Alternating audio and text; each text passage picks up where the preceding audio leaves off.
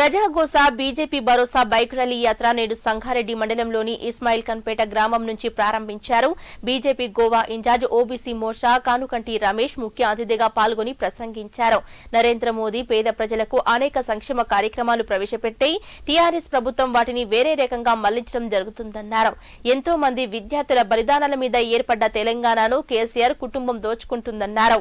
ఈ కార్యక్రమంలో నియోజకవర్గ ఇన్ఛార్జ్ రాజేశ్వరరావు దేశపాండే జిల్లా అధ్యక్షులు నరేందర్ రెడ్డి కొన్నాపురం జగన్ నర్సారెడ్డి మందుల నాగరాజు పోచారం రాములు వాసు పవన్ మండలపాటి అధ్యక్షులు పాపన్న ఓబీసీ రాష్ట్ర నాయకులు సురేందర్ యశ్వంత్ హర్షవర్ధన్ రెడ్డి సత్యనారాయణ ఈశ్వరపురం ఆంజనేయులు జె. శ్రీనివాస్ తదితరులు పాల్గొన్నారు.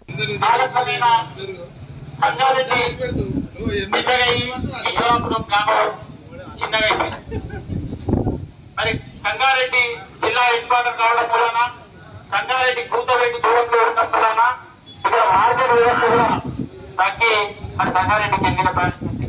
ఆ విధంగా ఈశ్వరాపురం గ్రామము ముఖ్యమంత్రి కేసీఆర్ గారు ఈ రాష్ట్రంలో ఎనిమిది సంవత్సరాల పాలన ఏ విధంగా ఉందో మన రోడ్లని చూస్తే తెలుస్తుంది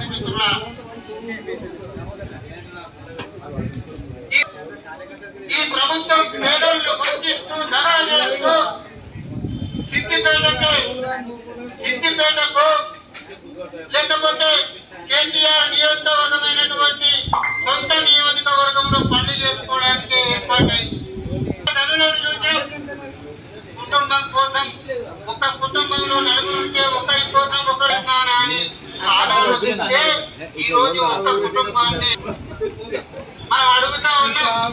మొన్న చూసాం బీహార్ పోయిన పాటు